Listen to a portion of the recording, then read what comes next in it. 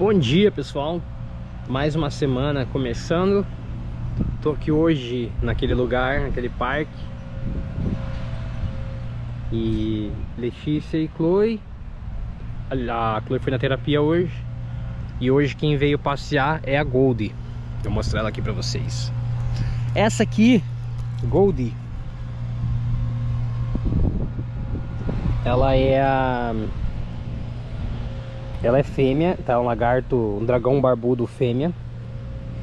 E ela é, por mais que ela seja fêmea, ela é a dominante da minha coleção. O que, que isso quer dizer?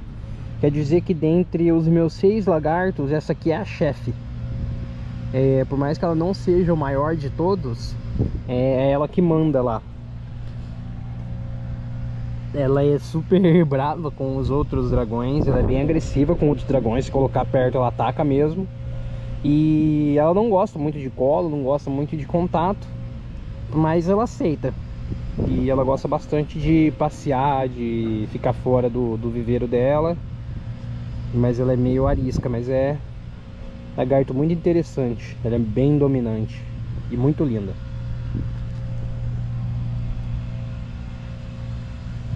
É, Gori. E cara, hoje ela tá incrivelmente tranquila, cara. Ela tá claramente melhorando a cada passeio. Porque ela não é tão tranquila assim não, cara. Aí, como ela tá de boa, super tranquila. É, filha. É, aí. Subindo. É, meu amor. Cara, é, eu acho muito demais, tá ligado? É, eu aprendi que eu tive uma experiência com cogumelos que mudou a minha vida, mudou a maneira como eu vejo os animais hoje em dia. E, cara, é muito incrível porque esses bichos, principalmente répteis, eles são por instinto, né? E você já reparou como muitas vezes que a gente fala de instinto, a gente vê o instinto como algo ruim. Você já percebeu como a gente fala, ah, fulano tá no, no, agindo de forma instintiva, né? E tal, como se fosse uma coisa meio primitiva, ruim. Mas eu vou te falar uma coisa, cara. Será que um cachorro um bicho que tem esse cérebro reptiliano, né? E que age assim de forma completamente reativa, é, instintiva, será que ele faz? Ele não faz isso por maldade. Entendeu? Vamos supor, um cachorro que você pisa no rabo dele ali, ele não vê você, ele te dá uma mordida assim meio que de no instinto. Ele não, não é ruim por isso, entendeu? Porque o instinto faz alguma coisa porque simplesmente porque tem que fazer, em resposta, é uma reatividade. E a consciência é quando você, por exemplo, você vai fazer algo mal pensado, sabendo que você vai fazer aquilo, entendeu? É diferente. Quando você faz o, alguma coisa ali que é visto ruim por instinto, entendeu? E esses animais são por instinto, então não tem maldade aqui. E eles dão a maior lição sobre amor pra gente. Se você quiser aprender sobre amor, cara, conviva mais com bicho. Eles não conhecem essa ilusão que o ser humano tem. E tem muita gente também que fala. É, e não é. Não tô inventando, não, tá? Eu já vi. Já vi, já teve gente que comentou isso em, nas fotos de répteis, os meus bichos. Que é tipo assim, ah, ele é um réptil, então você ama ele, mas ele não tem a capacidade de te amar de volta. E aí eu te pergunto uma parada, será que você sabe o que é amor, cara? Será que você realmente sabe o que é amor? Porque eu vou te falar. Uma vez eu tive uma experiência muito profunda com cogumelo e eu entendi, eu pude compreender que o amor é a aceitação, tá? Da realidade. É, o amor é algo que a gente não muda. Pensa num dia maravilhoso que você gostou muito. Você mudaria algo nesse dia? Não, por quê? Porque você ama esse dia. Imagine uma pessoa que você ama essa pessoa, você se sente muito bem perto dela. Você mudaria essa pessoa? Não, por quê? Porque você ama essa pessoa.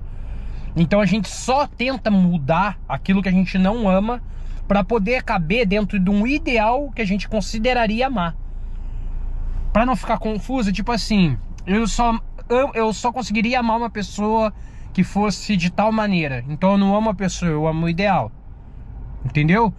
Então, os animais, cara, olha isso aqui. Coisa mais linda do mundo.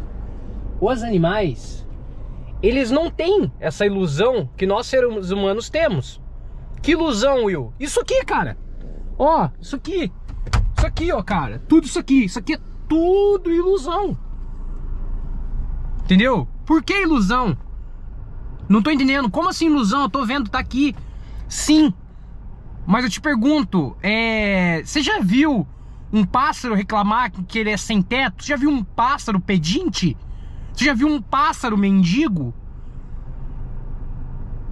Entendeu? Um pássaro não precisa se preocupar se ele vai ter um teto sobre a cabeça dele, se ele vai ter o que comer, se ele vai, se ele vai ter que pagar para poder voar, entendeu? Se ele vai poder pagar para poder se movimentar, se ele, se ele precisa ter um passaporte quando ele for ultrapassar uma fronteira. O pássaro não tem esse tipo de preocupação. Por quê? Porque ele vive a realidade. Ele não vive a ilusão. Então como é que eu olho para um animal desse e tenho coragem de falar que ele não ama. Como é que ele não ama?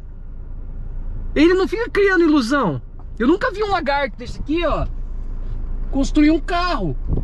Nunca vi um lagarto desse, tá ligado? Reclamar que tá sem teto, pedinte. Então como é que o animal não ama? Eu acho que quem fala isso deveria repensar se ela sabe o que é amor. Se tem alguém que ama, são os animais. E o ser humano fica tentando explicar através da consciência, de uma consciência de saber que o que você está sentindo, você expõe aquilo em palavras, você traz para uma materialidade. Tudo isso é ilusão. Vocês entendem? O amor ele não é algo que se diz, não é algo que se sente, não é algo que se fala. O amor simplesmente é. E quando você é, diz que o amor é isso ou é aquilo, você tá dando uma definição, você já tá limitando o amor a algo. Tá ligado? Você tá tentando colocar em palavras, dar, descrever o tempo inteiro. O tempo inteiro a gente fica tentando descrever as coisas, dar nome, dar sentido. Tá ligado? E isso é muito louco, cara. Então, os animais têm uma capacidade de amar, mesmo os répteis, muito maior que a nossa. Tá bom? Não importa o que que outras pessoas, o que que essa ciência diz. Então vamos parar a pensar sobre isso. E bora que hoje o dia vai ser punk. Eu vou ter que filmar ela de novo porque ela é muito linda. Sai fora do meu canal! Gente chata que não tem vez. Vai ter que ver dragão barbudo laranja, coisa mais linda do mundo. Não quero saber. Né, Chloe? Não. Chloe, say yes. Yes. Viu? Até a Chloe falou que é. Então pronto, acabou. Ponto final.